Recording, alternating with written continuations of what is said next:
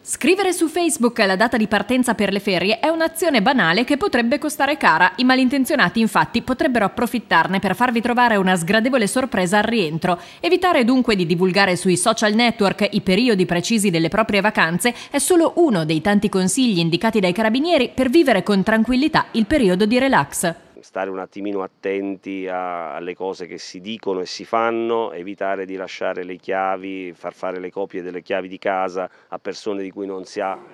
contezza eh, diciamo della, della, qualità. Eh, non dare indicazioni troppo eh, chiare rispetto al periodo in cui si andrà in vacanza, anche sui social spesso e volentieri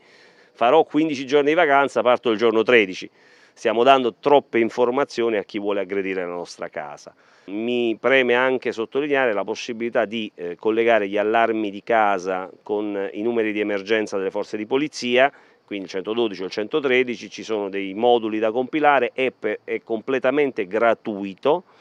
non c'è bisogno di nulla, basta solamente compilare il modulo, firmarlo, portarlo nella prima caserma dei carabinieri per poter attivare il sistema. Il comandante provinciale Corrado Scattaretico ha anche illustrato gli spot nazionali diffusi dall'arma dei carabinieri per non incappare nelle ormai tristemente note truffa dello specchietto, truffa dell'incidente stradale e truffa dei finti tecnici di luce e gas.